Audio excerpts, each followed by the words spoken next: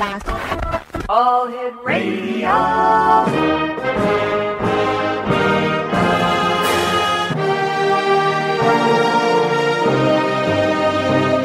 Welcome to the X Zone, a place where fact is fiction and fiction is reality. Now, here's your host, Rob McConnell.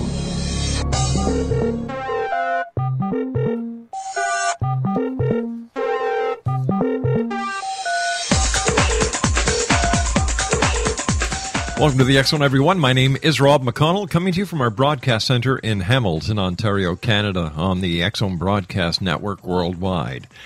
If you'd like to give us a call, toll free, 1 800 610 7035. Email xzone at xzoneradiotv.com on all social media sites, Xzone Radio TV, and our website at www.xzoneradiotv.com. My guest this hour is no stranger to the X Zone. Butch Witkowski is our special guest. He's the director of the UFO Research Center of Pennsylvania. And he's also the editor of the Journal of Abnormal Abduction Research. And uh, he's been investigating and speaking on the UFO phenomenon for nearly 25 years now. And to date, he's investigated or been involved in 1,506 investigations of UFO and alien abduction phenomenon. Uh, he's been on international radio shows, TV shows, and he's given numerous um, speaking engagements at uh, conferences and presentations.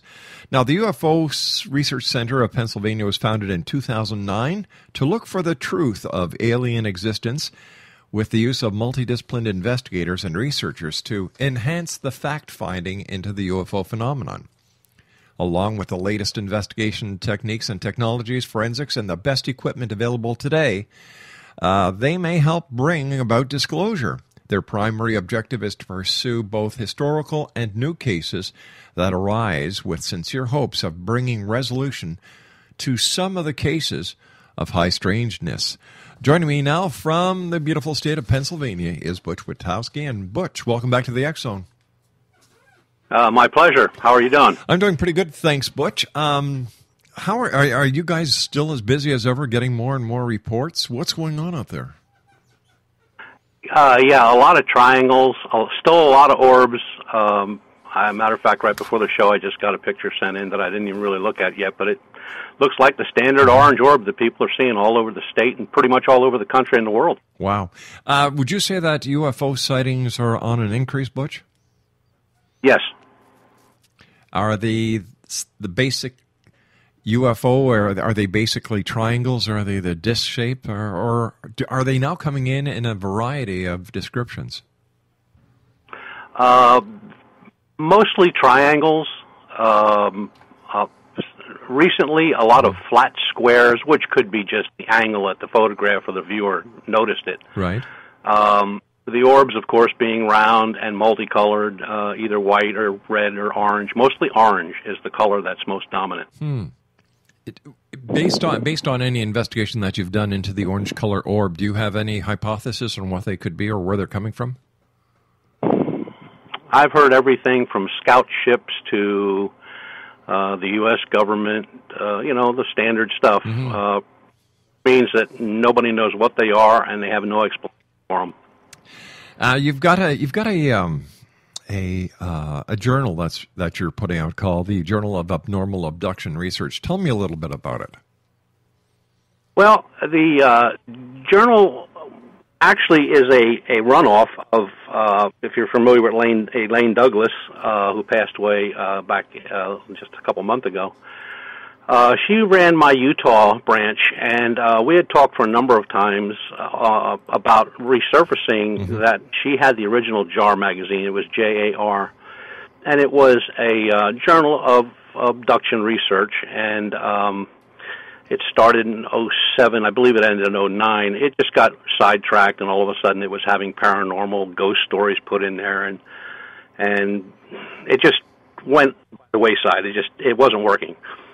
So we had talked about starting this up, and um, uh, Thursday, which would have been three days before she passed away, um, I had the first copy out to her to review before I posted it, and unfortunately, she passed away that Tuesday morning.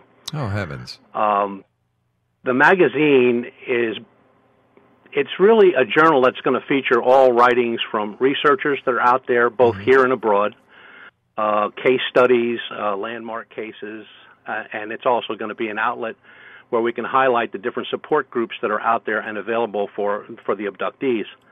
Being that there is no abduction uh, databases uh, at all, although there is a lady in Quebec, Canada, that is working on one right now, and there is a gentleman in Northern California, I believe, that's working on. No, I'm sorry, Northern Oregon, that's working on one. Um, you know, abduction has always been put to the side, but it's a very real thing. It's it's as it's it's as much of a phenomenon as the uh, UFOs that we see all the time. All right, but stand by. You and I have to take our first commercial break. We'll be back in two minutes. Exonation, Butch Witkowski is my special guest. www.uforcop.com. That's www.uforcop.com. This is the X Zone. My name is Rob McConnell, coming to you from our broadcast center in Hamilton, Ontario, Canada. If you'd like to send me an email, it's a very simple email address. I've had it for 20 some odd years now. Xzone at xzoneradiotv.com. Butch and I return on the other side of this break. Don't go away.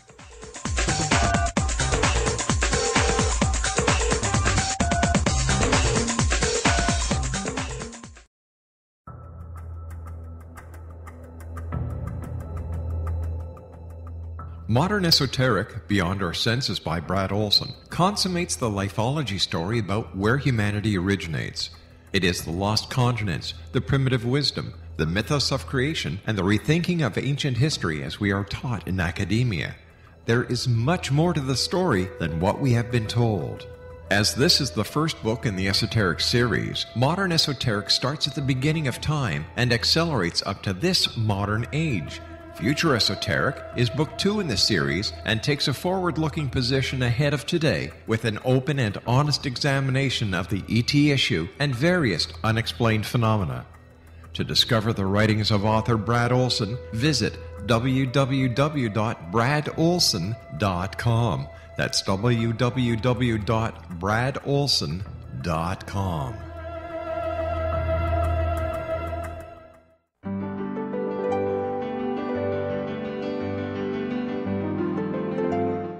Named one of the world's greatest psychics, Elizabeth Joyce is now giving readings worldwide via Skype.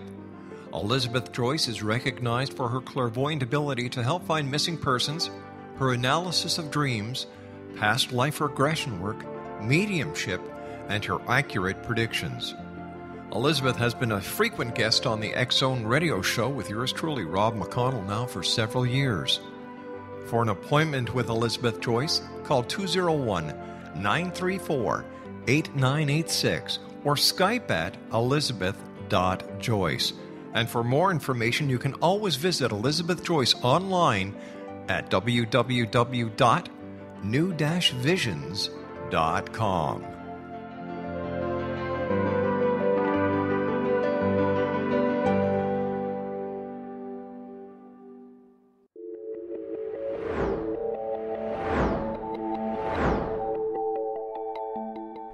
have a disease that you would like to alleviate through a natural means? Have you been contacted by angels, ghosts, or even extraterrestrials and want to validate these experiences? Or would you simply like to speak with someone who can help you find your life's purpose? I'm Dr. Joseph Mara, and I'm offering my services free of charge for first time clients contacting me during the month of April. These free consultations include angel card readings, guided meditations, life coaching, and energy healing. If you have always wanted to explore these types of experiences but were skeptical or simply could not afford them, then take advantage of this free special offer. Contact me through my website, a guiding light spelled L-I-T-E dot com to schedule your consultation today. Until then, I offer you love, light, and laughter.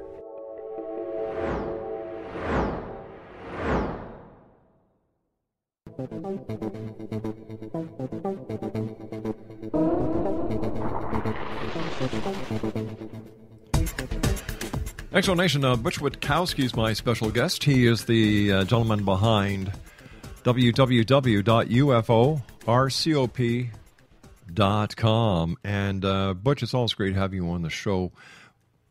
Be, during, just before we went to the break, we started to talk about the alien abduction phenomenon. And are you getting more and more cases of alien abductions being reported? And why hasn't the UFO community taken as much care and attention to the alien abduction phenomenon as, as they have been with UFO reports?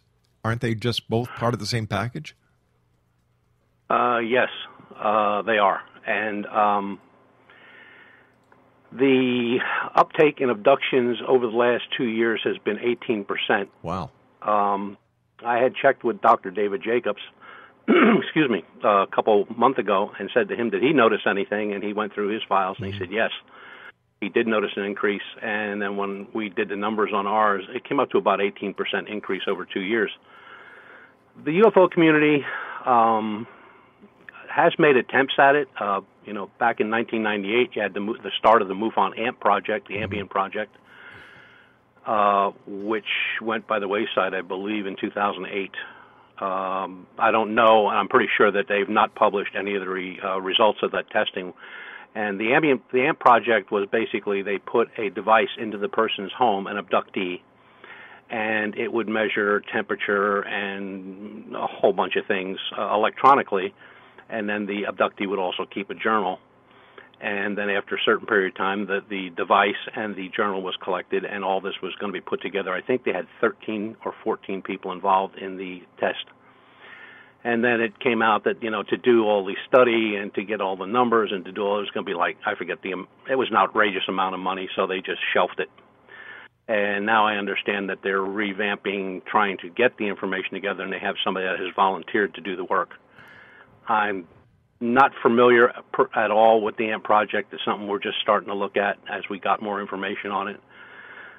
But um, then also, uh, MUFON has uh, has now a um, an abduction group, which I believe is headed I know is headed by Kathleen Marden, mm-hmm. and there's um, six or seven folks also involved in that. Denise Stoner is one of them and they are to, as I understand, handle all the abduction cases that come in. But until we see the results of what's coming in and what they're finding, you know, it's just it's it's just another database. Tell me, but with your experience as being a former investigator with MUFON, the former chief investigator with MUFON, Ha- over the years that MUFON has been in, in existence, have they actually come up with any concrete evidence to say unequivocally that yes, we are being visited by extraterrestrials from another planet? Not that I've ever seen in writing. No way. Hmm.